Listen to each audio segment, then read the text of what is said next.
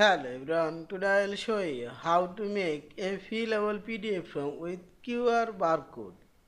Open your PDF file with Adobe Acrobat Pro DC and go Tools option and scroll down. Here you will find this prepare form option.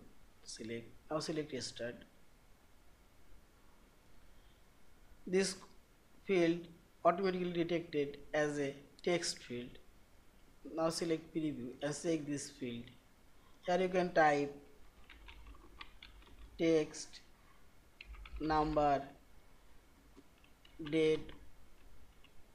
Also you can type your other symbol and select this field.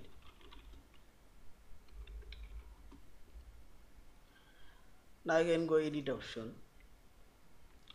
Now I'll add here new text box here you will find this text box icon select here and draw new text box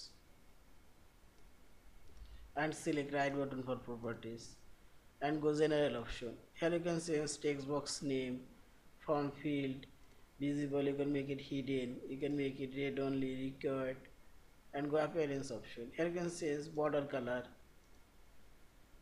fill color. Also you can see line thickness line style and font size and choose auto. Also you can change text color and choose red color. And font style you can change. And go option. Here you can change text alignment. You can center right align I choose center. Also you can add multi-line limit of characters allow text formatting now select close and go preview and type text. Middle line already working and text color already changed red and this is border color already changed. Now I'll add QR barcode.